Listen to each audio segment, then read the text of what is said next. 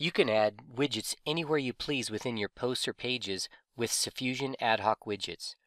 The amazing free Suffusion theme for WordPress makes this possible.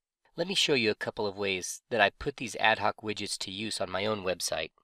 If I want to display the same content on different pages of the same website, let's say for instance I have a pricing schedule that I want to list on several pages. When my prices change, I'll have to edit every page where I've listed the pricing schedule. With Suffusion ad hoc widgets, I can create one pricing schedule and place the shortcode on as many pages as I want. When I change the pricing schedule in the ad hoc widget, the prices are modified on any and all pages where the ad hoc widget shortcode was placed. Let me show you a couple of examples. Here's the pricing schedule for a membership website that I own and operate. The pricing schedule was placed within the post field using a Suffusion ad hoc widget. Let's take a look at the HTML for this page for a minute. Here's the shortcode for the pricing schedule. This is the shortcode that is used when placing an ad hoc widget on a page. Note that the ad hoc widget is number specific. Let's go take a look at ad hoc widget number 3 for a minute.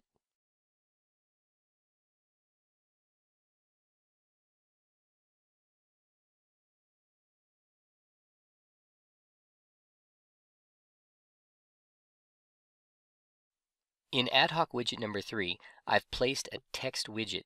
You can place any widget that you like into the ad hoc widget area. After placing the text widget, I added the pricing schedule as the textual content.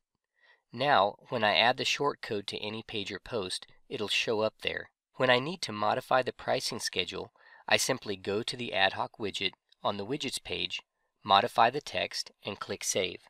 Now the pricing schedule is changed site-wide on any page or post where I've placed it. Let's look at one more example. When I created my website, I didn't want the login to be in the sidebar. I wanted it to be in a page that was linked from the top navigation. I solved this problem with an ad hoc widget. This Suffusion widget is a login widget that has been added to the ad hoc widget. The process for adding this widget is basically the same, but instead of using a text widget, we use the login widget. From the widgets page, I simply selected a login widget from the right, drag and drop the widget into the ad hoc widget number 2, and then modify the widget. After I have the ad hoc widget ready, all I need to do is add the shortcode listed at the top of the widget to any page or post. This ad hoc widget feature is truly an amazing feature of the already amazing Suffusion theme. Visit jefferyjack.com for many more success building videos, tips, and tutorials, and for the best Suffusion theme training on the web.